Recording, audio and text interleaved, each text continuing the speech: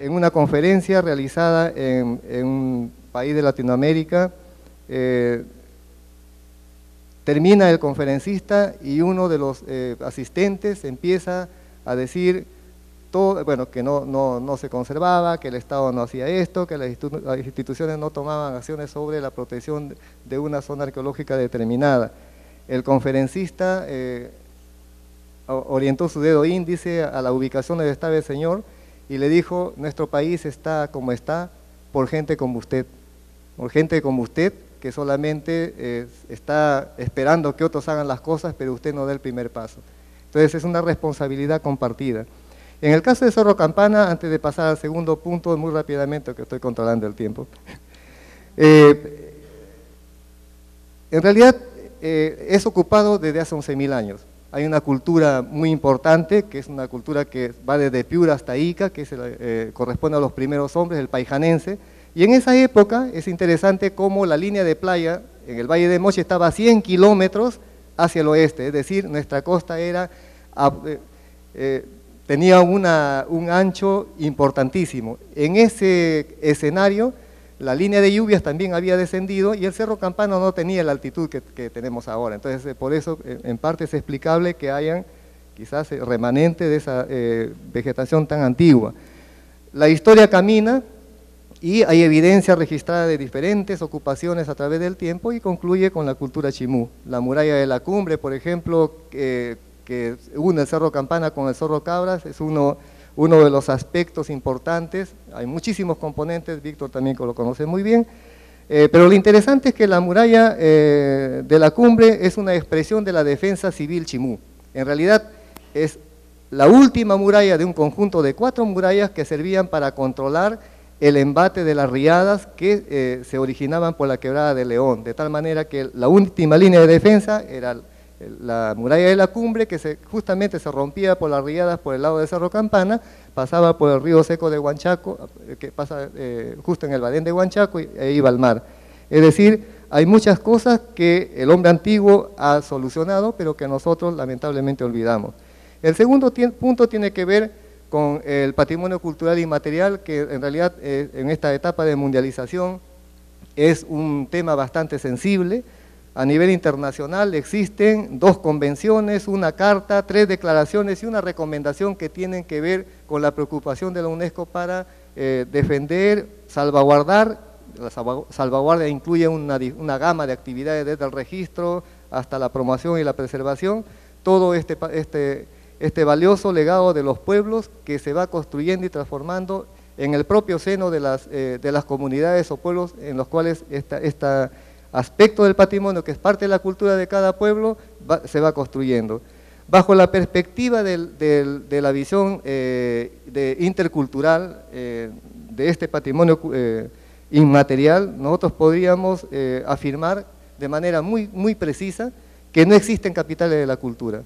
Cada pueblo, por pequeño que sea, ha construido su propia cultura a lo largo de 11.000 años y por lo tanto tiene el pleno derecho de reclamar ser la capital de su propia cultura. En todo caso, la interculturalidad nos da la perspectiva de trabajar eh, bajo un clima de mutuo respeto, de aproximación y de comunicación aquellas, con las comunidades que son diferentes a nosotros, e integrarla dentro de una, dentro de una eh, perspectiva holística eh, de comunicación y de integración a lo que es valorar cada una de las expresiones del patrimonio inmaterial, de tal manera que eh, se vea también que estas comunidades eh, no solamente sientan que es un patrimonio que es valorado por el resto, sino que también es, una fuente de desarrollo si es bien llevado antes de eh, ser riesgo en cuanto a su conservación a partir de todo este movimiento de la mundialización, los grandes desarrollos económicos que tienen que ver con diferentes industrias extractivas que inevitablemente nos pone en alerta para la conservación de este, este patrimonio valioso. Eh, por suerte para la libertad tenemos siete expresiones del patrimonio cultural inmaterial que han sido declaradas patrimonio cultural de la nación. La última ha sido el uso tradicional eh, de la totora en la costa norte del Perú eh, durante la gestión de, nuestra directora y también en la misma gestión la eh, declaración como patrimonio cultural inmaterial de la Virgen de la Puerta de Otusco, pero en fin hay una lista de siete más que han sido eh, declarados desde el año 2003 hasta el 2013. Y para orgullo de nuestro país, eh, en, la lista, en la lista del patrimonio mundial inmaterial hay cuatro expresiones que han sido declaradas como patrimonio inmaterial de la humanidad. voy a leerlos y con ellos termino. Lo primero es el arte textil de Taquile, eh, en el año 2008, la danza de las tijeras, que ustedes conocen muy bien, la vagonada, que es la danza ritual del, pueblo de Mito en el año 2010, y la peregrinación al santuario del Señor del Coyuliti en el Cusco, que es una eh, expresión eh, de lo que es el culto a la montaña, se puede decir encubierto, encubierto fiesta religiosa católica que generalmente son las que enmascaran esas grandes eh, eh, peregrinaciones y eh, actividades de culto de la época prehispánica. En realidad, cuando hablamos de, patrimonio mixto y del patrimonio inmaterial, estamos hablando siempre de espacios físicos y, y finalmente, bueno, en los tiempos antiguos, en el caso del Cerro Campana, los grandes cerros o las grandes piedras sagradas en el, el, idioma que nosotros hablamos, que es el quimia, eh, en realidad les corresponde el, eh, término Alepón.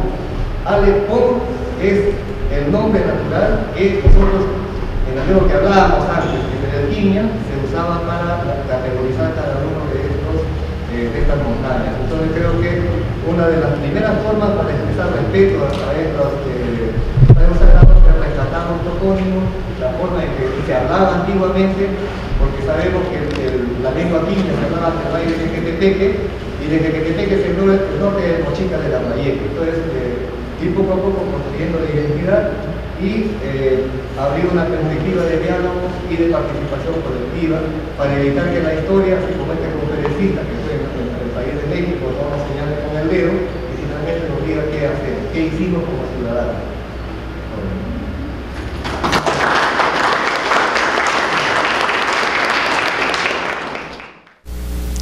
Por ejemplo, en la escultura, el maguey, que es una madera muy suave, la madera balsa, es un soporte, digamos, para ponerle en pie a la escultura. Y para ponerle, para comenzar a darle, digamos, los acabados, tiene la tela encolada, por ejemplo, sobre ese soporte. Esa tela encolada es un soporte para recibir la capa de preparación. La capa de preparación es un soporte para recibir lo que es la capa de policromía o las capas de policromía. Entonces, el conservador primeramente tiene que saber la técnica constructiva de todo. ¿Por qué? Porque puede deteriorarse, digamos, el soporte que es el maguey, puede estar apolillado, entonces uno tiene que ver las causas. Es como un enfermo. Entonces, si el doctor le pronostica a él, pues, por ejemplo, no quiero decir una enfermedad X, ¿no? No lo quiero dar, digamos, por ello. Entonces, él puede darle, de acuerdo al diagnóstico, él tiene que dar la propuesta. En el caso de la escultura puede fallar el maguey, puede fallar, digamos, la tela encolada, puede fallar la capa de preparación, puede fallar, entonces, ¿qué está sucediendo? ¿Cuáles son las causas? Entonces, lo que voy a pasar al siguiente.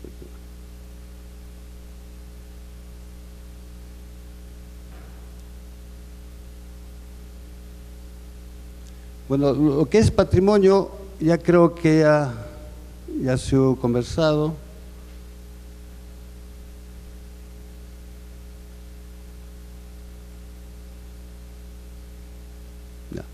Por ejemplo, aquí tenemos un retablo tenemos que ver cómo está compuesto el retablo. O sea, si está sobre un soporte, digamos, el soporte puede ser, digamos, la pared, puede ser el muro, puede ser adobe, puede ser ladrillo, y puede ver cómo está anclado, porque no solamente está pegado, tiene que haber un anclaje que soporta, digamos, el primero o el segundo cuerpo. Ahora hay que ver de qué tipo de madera es, el tipo de madera. La ubicación, si está, es, en la costa, es en la sierra o, es en la selva, ¿no? Entonces, cada material se deteriora de acuerdo también al, medio ambiente, de acuerdo al sector o la ubicación donde está expuesto el, retablo, porque no todas las maderas, digamos, funcionan. Por ejemplo, un eucalipto en la sierra puede durar 30, 40 o 100 años, no se apolilla. Pero si lo traen acá a la costa, un mes, dos meses está apolillado. Ahora, en la técnica constructiva, por ejemplo, tenemos eh, pintura mural. Esto, por ejemplo, ya es moderno. Entonces, obviamente, los materiales están cambiando. El soporte puede ser ladrillo, puede ser, digamos, yeso, eh, puede tener una imprimación de una pintura plana y como es ya moderno, ya han cambiado los materiales, ya es óleo. Entonces, ¿qué pasa con el óleo? Los mordientes comienzan a oxidarse, entonces comienza a oscurecerse también la pintura. Lo que no sucede en la, época colonial. En la época colonial, por ejemplo, principalmente está sobre quincha, está sobre adobe, tiene un repellado, digamos, de, un lucido de barro, tiene un repellado, digamos, de cal, ¿no? y tiene, digamos, la policromía de, óxidos de minerales. O sea, muchas veces son de tierras de color, pero mayormente son de óxidos de minerales. Entonces, como digo, cada cual funciona como soporte. Entonces, eso es lo primero que uno que... Aquí tenemos, por ejemplo, un problema. ¿Cuál es el problema? O sea, eh, esto es una hacienda, digamos, de Alpamarca por la Sierra Liberteña, en Patas. Eh, usted puede ver, por ejemplo, el soporte es adobe, pero pueden ver también la inclinación que tienen los muros. Dirán que están por colapsar. No, es esta forma. Por eso que están pegados, digamos, los, retablos. No es que está por colapsar, sino eh, es la técnica constructiva que utilizan, por ejemplo, hasta en Piura. La iglesia del Carmen es así. La iglesia de Angasmarca, igualito. O sea, es, es cuando uno va al dentista y dice, esa dentadura ya fue ya, hay que quitarlo. Eso sucede, digamos, eh, en, las casonas, las casonas coloniales o en algunos casos republicanos, cuando los muros se encuentran en mal estado. Entonces existen varias técnicas de desprendimiento. Uno es el estrapo, que solamente hay que quitar la capa, la capa pictórica. Otro es el estaco, es el muro, la pintura comparte el muro. Y el estaco machelo es la pintura con el muro. En este caso, por ejemplo, una pintura que estaba repintada, o sea, de pintura plana obviamente moderna, se ha tenido que eh, utilizar la técnica del estrapo para quitar, digamos, esa, esa capa de repinte que ha tenido y poder proteger la pintura original para hacer el desmontaje en la técnica estacomachelo. Ahí usted me ven ahí un poquito más chibolito, más joven ahí en la parte, baja, ¿no? Entonces, cuando ya no hay, digamos, opción, hay que desprenderlo, la levanta del muro, esta pintura se hace todo el proceso, se le pone nuevo soporte y se lo ubica. Y pareciera, en la Casa Ganosa trabajaron bastante eso, ¿no? La siguiente. Hay problemas también, por ejemplo, en la sierra, es el, caso de Angasmarca. ¿no? Eh, ustedes saben que es zona lluviosa, ¿no? entonces aquí ha colapsado las torres en varias oportunidades y a pesar que, siguiente, el interior guarda, digamos, elementos decorativos, considerado, digamos, uno de, los 100 monumentos en riesgo del mundo. Y en este caso, por ejemplo, lo que es la iglesia de Guamán, como antes del terremoto, pueden ver cómo era, siente, después del terremoto.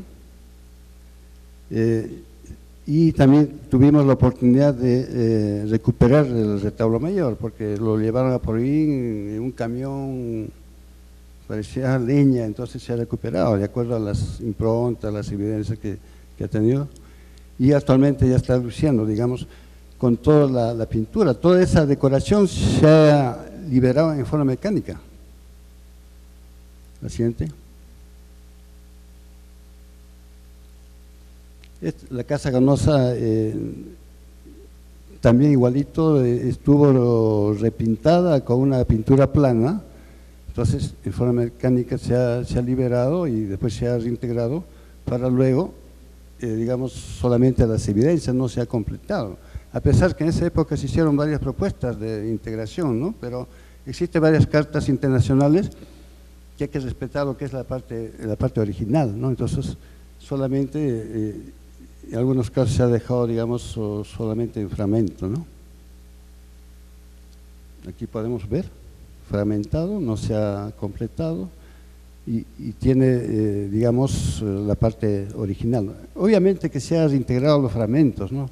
Porque en una época han picado para terrajear, o sea, hueco, hueco, hueco, entonces se ha resanado y se ha reintegrado. Entonces, también es el otro, el buen color que uno puede tener porque al reintegrar muchas veces, por ejemplo, una escultura, si hay resandes, entonces si uno no domina el color, pues va a aparecer lunares, lunares. Entonces creo que todo depende también del artista. Esto es en, en Colán.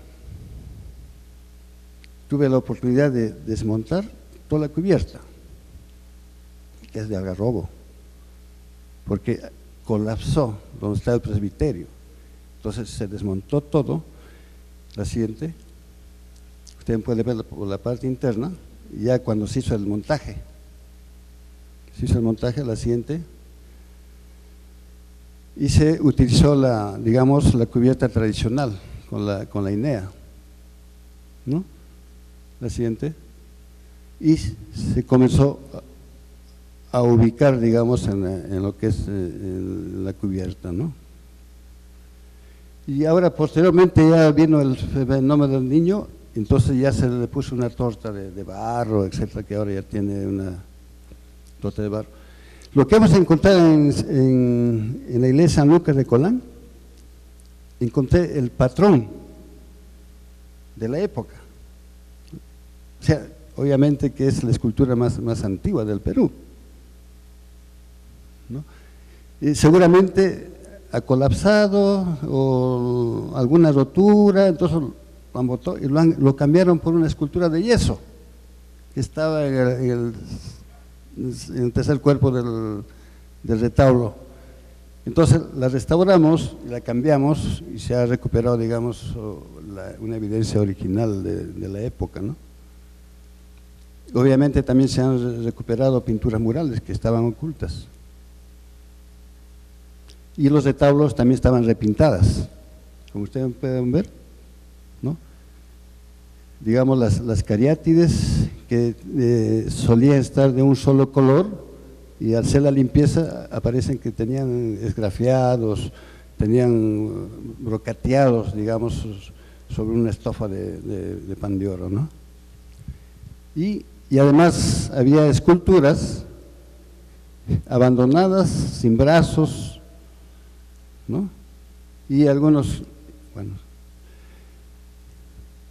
eh, seguramente como ya esta imagen ya no tiene pues la fisonomía como para uso religioso, entonces lo van arrinconando, lo van arrinconando y se va perdiendo pues evidencias culturales eh, de la época, ¿no? Muy, muy valiosas y van reemplazando con, con esculturas de, yeso o, o, materiales ya, ahora de fibra de vidrio, ¿no? Que, muchas veces van reemplazando la siguiente.